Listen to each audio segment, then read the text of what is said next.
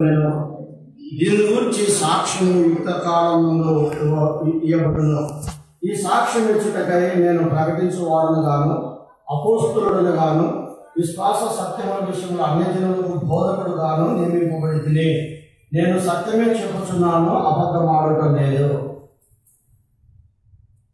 ప్రభు సాయం కొరకై చిన్న ప్రార్థన చేసుకుందాం మోకరించండి కళ్ళు మూసుకోండి. ప్రేమ కలిగిన మా పరలోకపు తండ్రి చదివిన లేఖన భాగములలో నుండి నాతో మాతో మీరు మాట్లాడండి. మీ స్వరం మాకు వినిపించండి దేవా. వాక్యమును ఆధారం చేసుకొని మేమందరము తండ్రి అయిన దేవుడు ప్రవేశు క్రీస్తు వారిని ఆత్మతో సత్యముతో ఆరాధించుటకు సహాయం చేయండి. ఈ దాసుడునైన నన్ను మీ రక్త ప్రోక్షణ కిందికి తీసుకుని వస్తుంటుండగా మీరు కడగండి శుద్ధి చేయండి. మీ ఆత్మతో నింపండి. మీ పునరుద్ధానం యొక్క శక్తిని కోరుకొచ్చిన ఈ వాక్యమును బట్టి వందనములు స్తోత్ర. మహిమ ఘనత స్థుతి ప్రభావములు మీకే కరువులు కాకని ప్రార్థిస్తూ నన్ను నేను మమ్మల్ని మేము తగ్గించుకుంటూ మీ నామమును హెచ్చిస్తూ అతి త్వరలో తిరిగి రానే ఉన్నాం యేసుక్రీస్తు వారి పరిశుద్ధమైన నామములో స్థుతించి ఆరాధించి ప్రార్థించి అడిగి వేడుకుంటున్నాము తండ్రి. ఆమె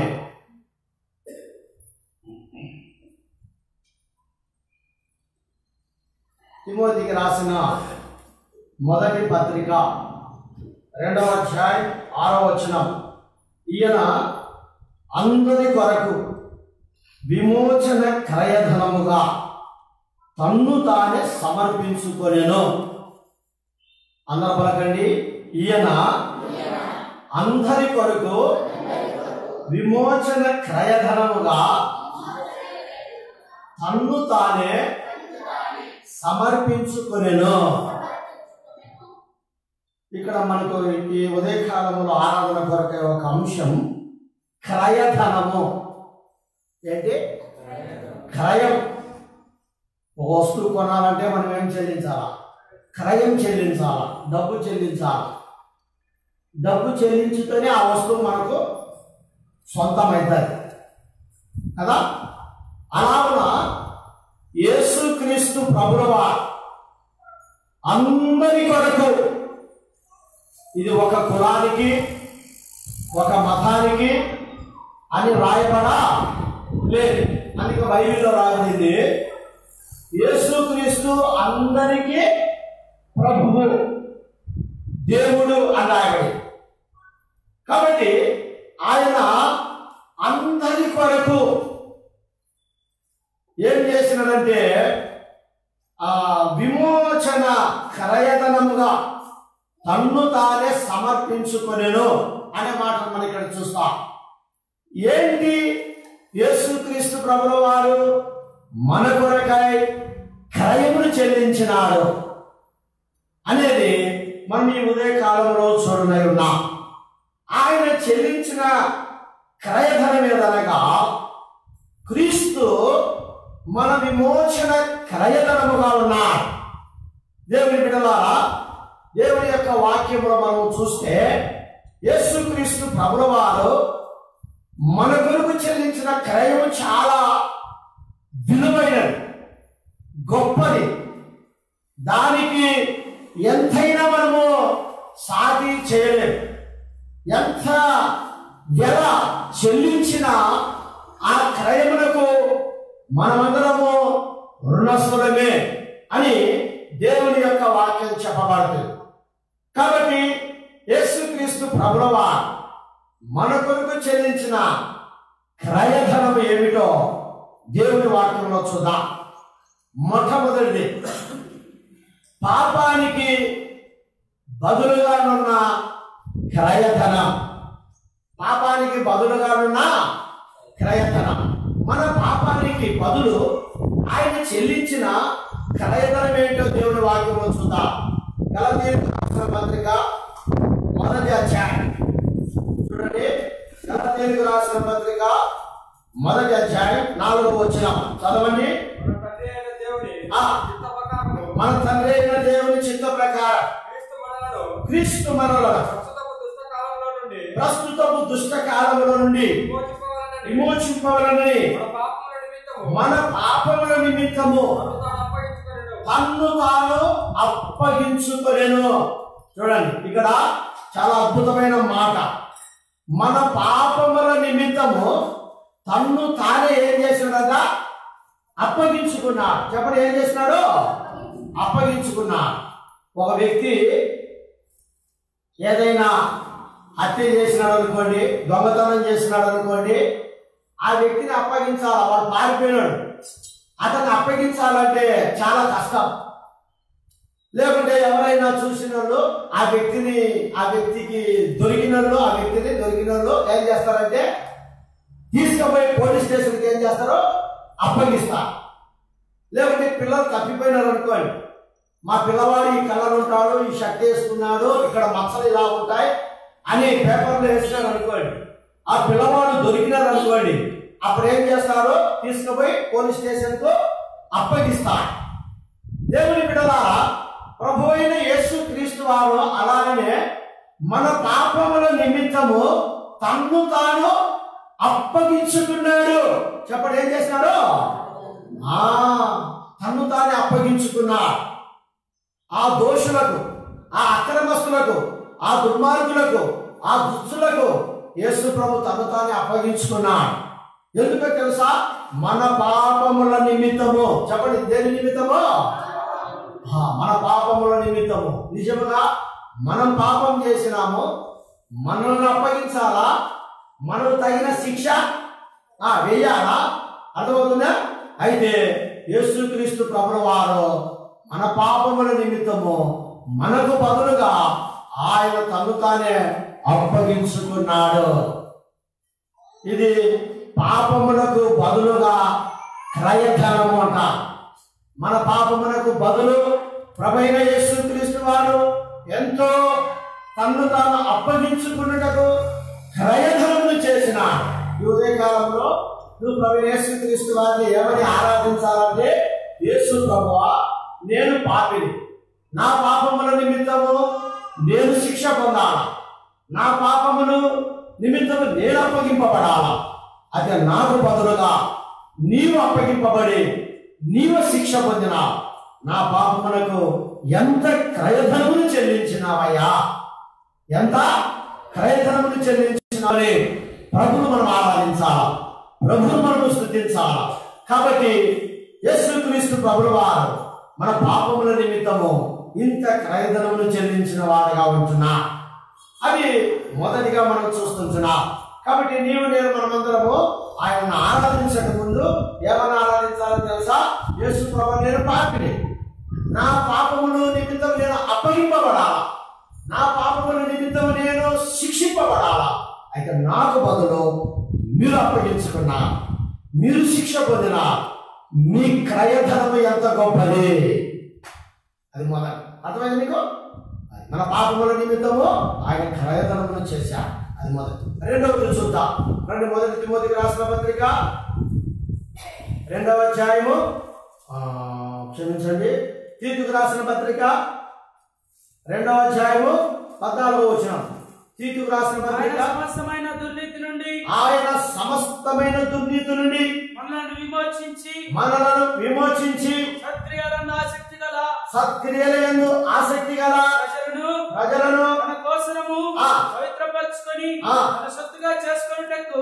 తను తానే మన కొరకు అర్పి- అర్పించుకొనెను ఆ, కాబట్టి దేవుని బిడ్డలారా రెండోది ఇక్కడ మనం చూసినట్లయితే రెండు పద్నాలుగులో ఆయన సమస్తమైన దుర్నీతి నుండి మనం విమోచించి సత్క్రియలను ఆసక్తి గల ప్రజలను తన కోసము పవిత్రపరచుకొని తన సొత్తుగా చేసుకున్నటకు తన్ను తాను మన ఏం చేశాడట అర్పించుకొనేను. ముందేం చేసినాడు అప్పగించుకున్నాడు. మొదట ఏం చేసినాడు చెప్పండి? పలకాల ఏం చేసినాడు అప్పగించుకున్నాడు. ఇప్పుడు రెండవది అర్పించుకుంటున్నాడు. రెండోది ఏం చేస్తున్నాడు చెప్పండి? ఆ ఎందుకు? సమస్తమైన దుర్నీతి నుండి మనల్ని ఏం చేయాలని విమోచించాలి. సమస్తం అన్నాడు ఇక్కడ. అందుకే ప్రయాసపడి అపమానం మోసుకొచ్చున సమస్తమైన చెడులారా ఎవరు చెప్పండి? సమస్తమైన జనులారా. నా ఇంటికి రండి బిడ్డలారా ఇప్పుడు ఆ సమస్తమ దుర్నీతి ఏమి లేకుండా మనలో ఉండే సమస్తమైన దుర్నీతి నుండి మనల్ని ఏం చేయాలని? పవిత్రపరచాలని. చెప్పండి ఏం చేయాలని? పవిత్రపరచ పరచుకొని తన సొత్తుగా చేసుకున్నటకు తను తాను మన కొరకు అర్పించుకొనేను.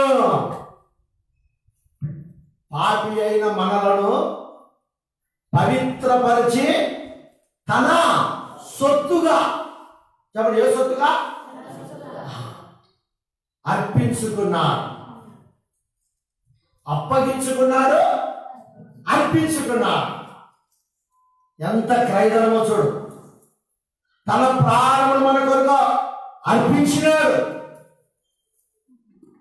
అప్పగించుకున్నాడు అర్పించినాడు. ఇది క్రైదనం అంటే దేవుని బిడ్డలారా ఇదే కాలంలో నేను జీవితంలో. ఇప్పుడు చూడండి మనం నాటుకోడి కోసుకోవాలని ఆశ ఉంది. నువ్వు ఏదో రాత్రి మర్చిపోయినావు. పక్కనే పట్టుకునేదానికి ప్రయత్నం చేసినావు. అది దొరకదా? అట్లా చేసి ఇట్లా చేసి అట్లా చేసి ఇట్లా చేసి అప్పగించుకున్నావు. అంటే దానికి దొరికింది. వచ్చింది ఏం చేస్తావు? అర్పిస్తావు. అలాగనే యేసు ప్రభు. మన పాపముల కొరకై మనుషుల చేత అప్పగింపబడి ఆయన మనుషుల చేత అర్పించబడ్డాడు. అది క్రయధనం అంటే తన ప్రాణంనే మన కొరకు అర్పించుకున్నాడు. ఈ ఉదయ కాలంలో నీవు నేను మనమందరం ఆరాధన చేయకముందు ఈ మాటలను గుర్తుపెట్టుకోవాలా? యేసు ప్రభ మొదటిగా నా పాపముల నిమిత్తము నేను అప్పగింపబడి నేను శిక్షింపబడేవా? అయితే నాకు బదులుగా నీవు అప్పగింపబడినావు. ఎంత క్రయధనమయ్యాది ఇది రెండవది నా పాపముల నుండి నన్ను పవిత్రపరిచి నీ సొత్తుగా చేసుకున్నటకు నీ ప్రాణముని అర్పించుకున్నా. ఎంత క్రయధనమయ్యా? ప్రాణమును అర్పించే వాళ్ళు ఎవరైనా ఉన్నారా? ఉన్నారా? దీనికంత క్రైమ్ ఎక్కడని చెప్పండి. ఈ ఉదయ కాలంలో యేసుక్రీస్తు ప్రభుల వారు మనలను పవిత్రపరిచి తన సొత్తుగా చేసుకోవాలని తన ప్రాణమునే అర్పించుకున్నాడు సమస్తమైన దుర్నీతులను మనల్ని పవిత్రపరిచి తన సొత్తుగా చేసుకున్నటకు ఆయన అర్పించుకున్నాడు. ఈ ఉదయ కాలంలో నీవు నేను ప్రభు వారిని ఆరాధించడానికి చేరువచ్చిన బిడ్డలారా ఈ సంగతులను మనం గుర్తుపెట్టుకుందాం. కాబట్టి మొదటిది మన పాపముల నిమిత్తము మనం అప్పగింపబడాల్సిన బదులు మన పాపముల నిమిత్తం ఎవరు అప్పగింపబడారో యేసు ప్రభు అప్పగించుకున్నాడు అది క్రైదన రెండవది మన పాపములో సమస్తమైన దుర్నీతులని మనలను పవిత్రపరిచి తన సొత్తుగా చేసుకున్నటకు ఏం తన ప్రాణమును అర్పించినాడు. ఇది క్రైదనం బాగా అర్థమైందో చెప్తున్నా మీకు. మూడవది. రెండు వ్యవహారం రాసిన సువార్త. మూడవ అధ్యాయం పదహారవ వచనం దేవుడు లోకమును ఎంతో ప్రేమించెను దేవుడు లోకముని ఎంతో ప్రేమించెను కాగా ఆ. ఆయన తన అద్వితీయ కుమారునిగా పుట్టిన వాడి ఆ. విశ్వాసముంచుతున్న వాడును ఆ. నశింపక నిత్య జీవం పొందినట్లు ఆ. ఆయనను అనుగ్రహించెను అనుగ్రహించెను ఒకటి అప్పగించుకొనెను రెండవది అర్పించుకొనెను మూడవది అనుగ్రహింపబడను. దేవుని పిల్లలారా ఇది క్రైధన. అంటే ఇక్కడ ఏంటిది? ప్రేమ. చెప్పండి ఏంటిది? ఏమా పలకండి ఏంటిది? ప్రేమ. తన ప్రేమను క్రయధనముగా మనకి ఇచ్చిన దేవుడు లోకముని ఎంతో ప్రేమించను. లోకం అంటే మట్టి కాదు ఈ లోకం అంటే మనుషులే అన్నాడు. ఎవరు? గురియాల పర. లోకం అంటే మట్టి కాదు. లోకం అంటే మనుషులు. అంటే మట్టి మనిషిని దేవుడు ఏం చేసినాడు ప్రేమించినాడు. ఇప్పుడు ఏం చేసినాడు ప్రేమించినాడు. చూడండి త్రాగుబోతులను ఎవరైనా ప్రేమిస్తారా? చెప్పండి ప్రేమిస్తారా? దొంగలను ఎవరైనా ప్రేమిస్తారా? వ్యభిచారముతో ఉన్న వారిని ఎవరైనా ప్రేమిస్తారా? నరహంతకులను ఎవరైనా ప్రేమిస్తారా? భయంకరమైన మోసకాలను చెడ్డవారిని ఎవరైనా ప్రేమిస్తారా? ప్రేమించాలి. అయితే యేసు ప్రభు ఈ లోకములో మానవులు పలు రకములైన పాపములతో ఉంటే వారిని ఏమి చేసినాడు? ప్రేమించినాడు. ఆయనలో ఎంత క్రయధనం ఉందో చూడండి. చెడ్డవారిని ప్రేమించాలంటే లోపల క్రయధనం ఉండాలా? ప్రేమిస్తామండి మనము? చెప్పండి ప్రేమిస్తామా? ప్రేమించాం. ఏమండి? అయితే దేవుడు ఆయన ప్రేమలో ఎంత క్రయధనం ఉందో చూడు.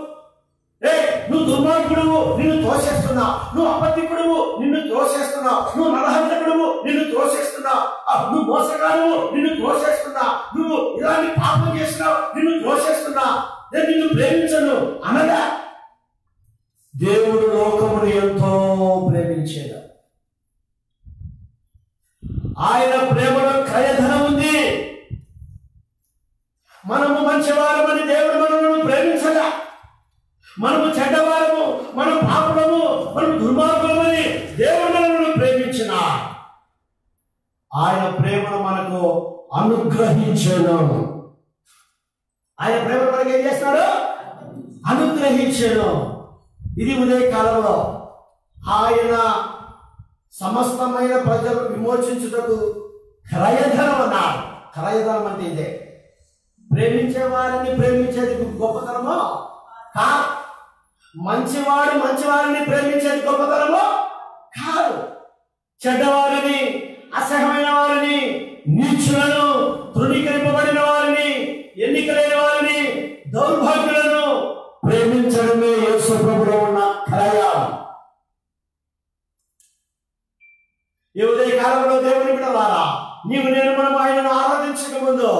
యేసుక్రీస్తు ప్రభును. అయా నిజముగా పాపినైన నన్ను ప్రేమించిన. ఎవరు నన్ను ప్రేమించరా? అందరూ నన్ను ద్వేషించిన వారే. అందరూ నన్ను దూషించిన వారే. అందరూ నన్ను శపించిన వారే. అయితే నీవు నన్ను ప్రేమించినావు. నీ క్రయము ఎంత గొప్పది. నీ ప్రేమ ఎంత గొప్పది నాయనరా అని ప్రభుని ఆరాధించాలా?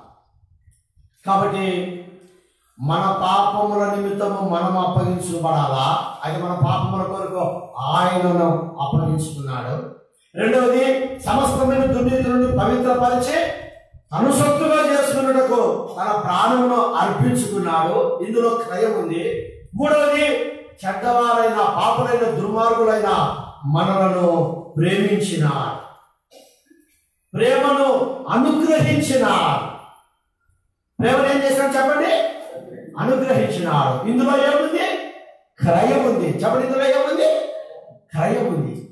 నిజంగా ఈ ఉదయ కాలంలో ఆ ప్రేమను రుచించిన నీవు ఆ దేవుని యొక్క ప్రేమను ఎరిగిన నీవు ఆయనను ఆత్మతో సత్యముతో ఏం చేయాలా? ఆరాధించాలి. ఆయన నామమును ఎంతైనా గణపరచాలి.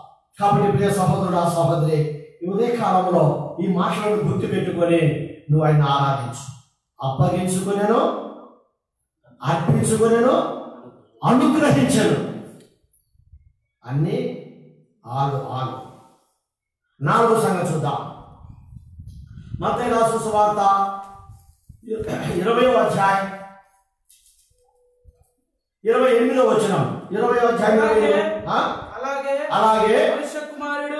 పరిచారం చేయించుకున్నట్టుకు రాలేదు గాని పరిచారం చేయుటకును చేయుటకును. ప్రతిగా విమోచన క్రయముగా. తన ప్రాణమును తన ప్రాణమును ఇచ్చుటకును ఆ. వచ్చానని చెప్పాను. తన వచ్చెను. ప్రాణమును నిచ్చెను. ఎంత క్రయధనమో చూడు దేవుడు ప్రవేశ క్రీస్తువా కదా?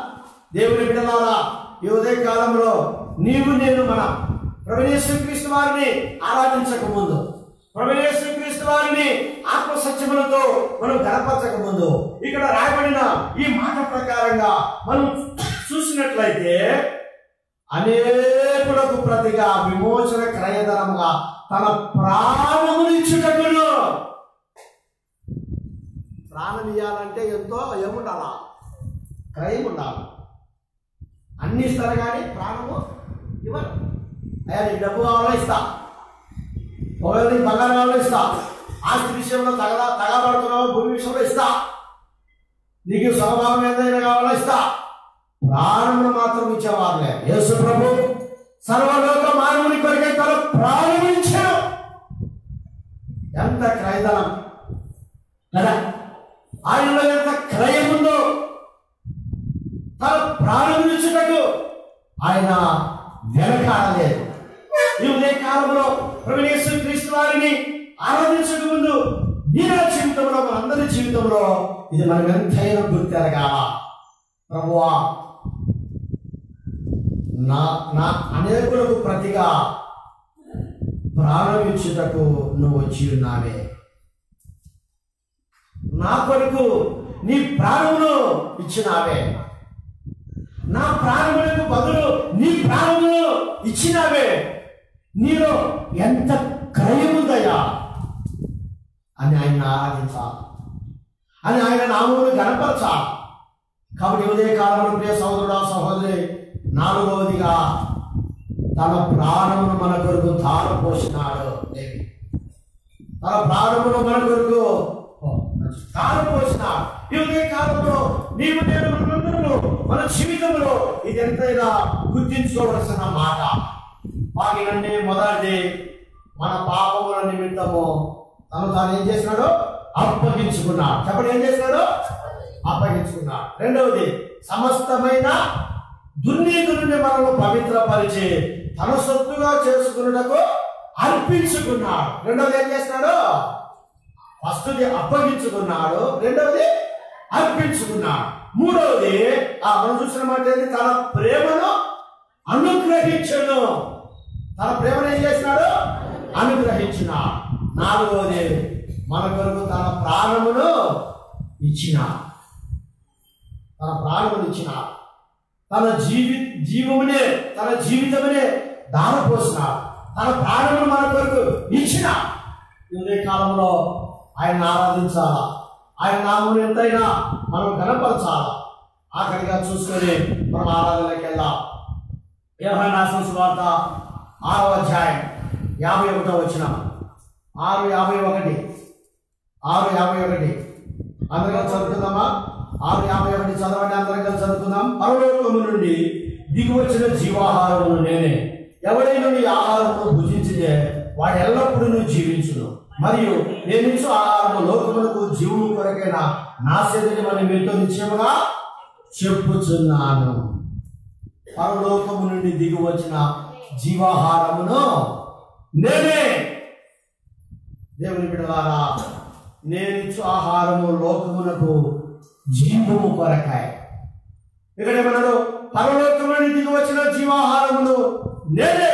ఈ ఆహారమును భుజించితే వాడు ఎల్లప్పుడూ ఏమి చేయాలంట జీవించును. కాబట్టి ఎల్లప్పుడూ ఏం చేయాలంట ఆహారం అదే మొదటి కొరింథీ రాష్ట్ర పత్రిక పదకొండవ అధ్యాయంలో ఏముంది?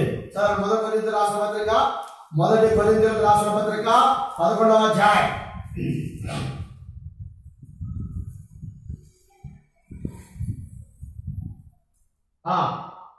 ఇరవై నాలుగు వచ్చిన దానిని నిలిచి ఇది మీ కొరకైన నా శరీరం.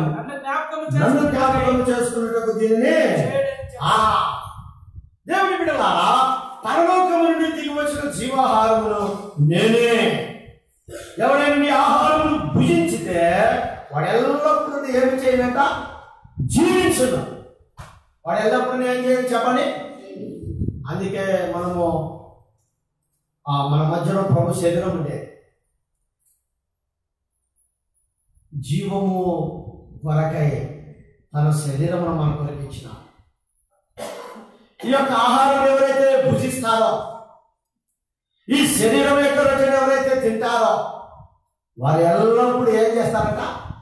జీవించును. ఎల్లప్పుడూ జీవించేది ఆడ. పరలోకంలో ఎల్లప్పుడూ జీవించేది ఎక్కడ చెప్పండి? ఈ లోకంలో జీవించేది డెబ్బై సంవత్సరాలు. అర్థమవుతుందా? అధిక బలం అంటే ఎనభై సంవత్సరాలు. ప్రభు కృప వంద సంవత్సరాలు జీవిస్తాం. ఆ తర్వాత పుట్టినవాడు తప్పక చచ్చిపోవాల్సిందే. అయితే ఎల్లప్పుడూ పరలోకంలో జీవించును పరలోకంలో నువ్వు జీవించాలా. ఆ జీవమును కలిగి ఆయనను ఎల్లప్పుడూ ఆరాధించాలని ఆ జీవమును ఆహారంగా నీకు ఇచ్చిన. ఎంత క్రయదనం ఇది నా శరీరం మీరు తినండి. ఇది నా రక్తం మీరు తాగండి. ఎవరు దీన్ని భుజిస్తాడో వాడు ఎల్లప్పుడూ జీవించును. ప్రియ సహోదరుడు సహోదరుడే కాలంలో ప్రవేశిస్తు వారిని ఆరాధించక ముందు ఈ ఐదు సంగతులను నువ్వు జ్ఞాపకం పెట్టుకొని నువ్వు ఎంతగానో ప్రభుని ఆరాధించు. ప్రభును స్థుతించు. ప్రభును కనపరచు.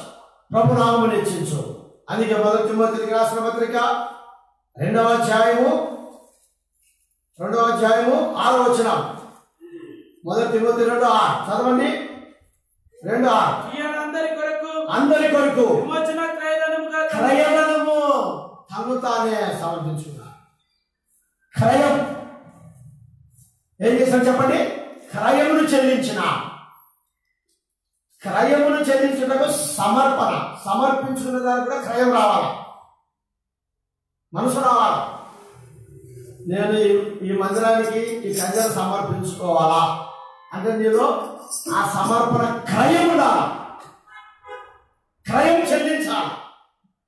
క్రయము చెల్లించండి. ఈ కంజర రా. ఇది క్రయం చెల్లించిన తర్వాత కన్యలు వచ్చినప్పుడు మందిరానికి సమర్పించుకుంటాం. చాలా మందిలో ఇటువంటి క్రయం ఉండదు. ప్రభుకి ఇచ్చే విషయంలో ఏదో భిక్షగాల్లాగా ఐదు రూపాయలు పది రూపాయలు ఇరవై రూపాయలు వేసిపోతా. నిజమే కదా వారం అంతా దేవుడు నన్ను ఆరోగ్యంతో కాపాడినా? నన్ను బలపరిచిన? నేను పని చేస్తున్నా. నేను నమ్మకంగా నా ప్రభుకు నేను భాగం ఇవ్వాలనే క్రయం చాలా మందిలో ఉన్నా అలాంటిది ఉన్నప్పుడు అక్కడ వచ్చి కానుకల్లో తెలిసిపోతాను దేవుడు బిడ్డలారా ఏదేమైనప్పటికీ ఇక్కడ రాయబడిన మాట ప్రకారంగా రెండవ అధ్యాయం ఆరవ అందరి కొరకు విమోచన కలిగినగా తన్ను తానే సమర్పించుకొనెను. సమర్పించుకున్నాడు. ఏం సమర్పించుకున్నాడు? తన ఆత్మను తన ప్రాణమును తన శరీరమును తన రక్తమును మన కొరకు ఏం చేసినాడు? సమర్పించుకున్నాడు. కాబట్టి ఉదయ కాలంలో నీవు నేను ఆయనను ఆరాధించక ముందు ఈ మాటలతో మనం ఆరాధిస్తాం. మొదటి నా పాపముల నిమిత్తము నేను అప్పగింపబడాలా నేను శిక్షింపబడాలా? నాకు బదులుగా నువ్వు అప్పగించుకున్నా ఎంత సమర్పణ ప్రభా. రెండవది నా సమస్తమైన దుర్నీతి నుండి నన్ను పవిత్రపరిచి నీ సొత్తుగా చేసుకున్నటకు నువ్వేం చేసినావు? అర్పించుకున్నావు. అప్పగించుకునేదే కాకుండా రెండోది ఏం చేసినావు? అర్పించుకున్నావు. మూడవది ఆ పాపినైన నన్ను దుర్మార్గుడైన నన్ను ప్రేమించినావు. ప్రేమను అనుగ్రహించినావు. వ్యవహారం మూడు పదాల ప్రకారం. ప్రేమను ఏం చేసినావు? అనుగ్రహించినావు. అప్పగించుకున్నావు? చెప్పండి. అర్పించుకున్నా అనుగ్రహించిన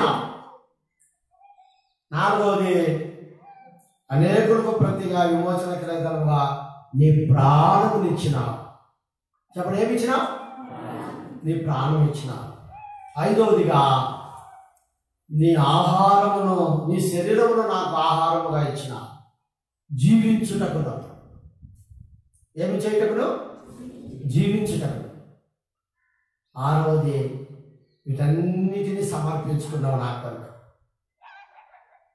ఈ ఉదయకాలం ప్రభు నేను నూతన సంవత్సరం అడుగుతున్నా.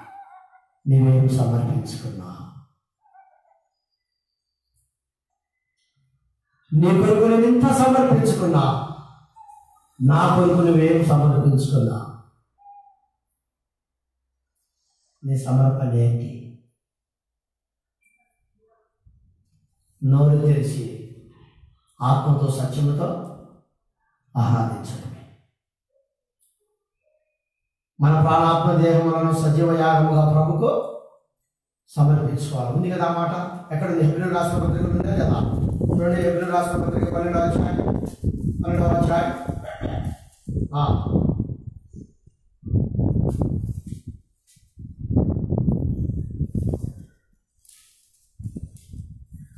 సజీవ యాగముగా మన శరీరములను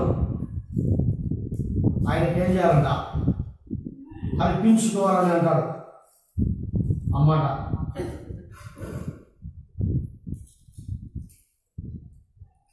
రోమిలకు రాసిన పత్రిక పన్నెండో అధ్యాయం మొదటి వచ్చినాం చదవండి రోమ పన్నెండు ఒకటి.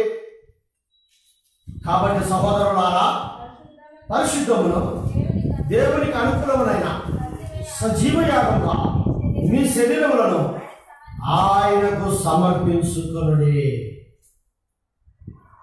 సజీవ యాగంగా మన శరీరములను ప్రభు కొరకు ఏం చేయాలా? చెప్పండి.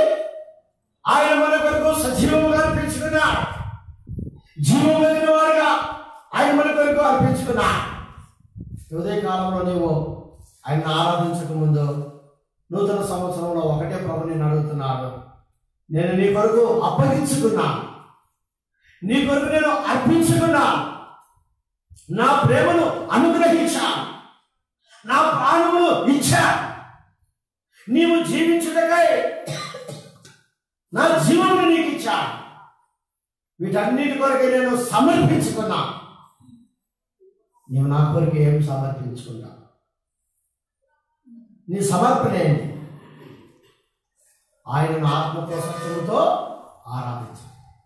కాబట్టి ఉదయ కాలంలో దేవుని బిడలారా ఈ మాటలతో నీవు నూతన సంవత్సరంలో ప్రభును ఆరాధించు. ప్రభును ప్రతి ఒక్కరు ఆరాధించాలి. ప్రభా నా పాపముల కొరకు నువ్వు అప్పగించుకున్నా సమస్తమైన దుర్నీతి నుండి పవిత్రపరిచి నీ సొత్తుగా చేసుకున్నటకు అప్పగించుకున్నా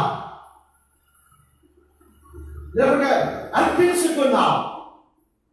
పాపినైన దుర్మార్గునైన నాకు ప్రేమను అనుగ్రహించిన తర్వాత ఇచ్చి పాపినైన నాకు నీ ప్రాణం ఇచ్చిన తర్వాత ఈ లోకములో జీవించుట కొరకు నీ శరీరమును నాకు ఆహారముగా ఇచ్చిన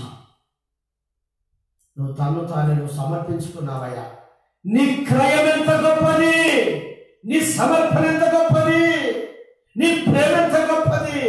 ఈ మాటలతో మనం ఆయన ఆత్మతో సత్యముతో ఆరాధిస్తాం. వ్యవహార స్వార్థ ఈ మాటలు మనం గుర్తు చేసుకొని ప్రభుని ఆరాధిస్తాం. వ్యవహార స్వార్థ నాలుగో అధ్యాయం. రెండు ఇరవై నాలుగు వచ్చిన అందరం కలిసి చదువుకుందాం వ్యవహార స్వార్థ నాలుగో వచ్చిన ఇరవై నాలుగు వచ్చినాం. అందరం కలిసి చదువుకుందాం. చదవండి దేవుడు ఆత్మ కనుక ఆయన ఆరాధించు వారు ఆత్మతోనూ సత్యముతోనూ ఆరాధింపవలను రండి మనం అటు ఆరాధనలోకి వెళ్దాం. లేచి నిలబడి ప్రభు కొరకాయ ఆరాధన కొరకై మనం ఒక పాట పాడుతున్నాం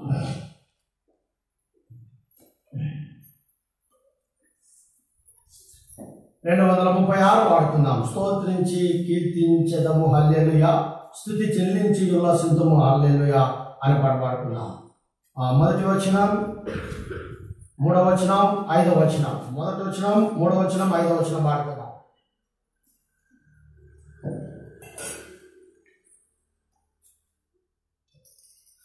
రెండు వందల ముప్పై ఆరు. పాత పాట పుస్తకంలో రెండు వందల రెండు పాడుకుందాం. స్తోత్రించే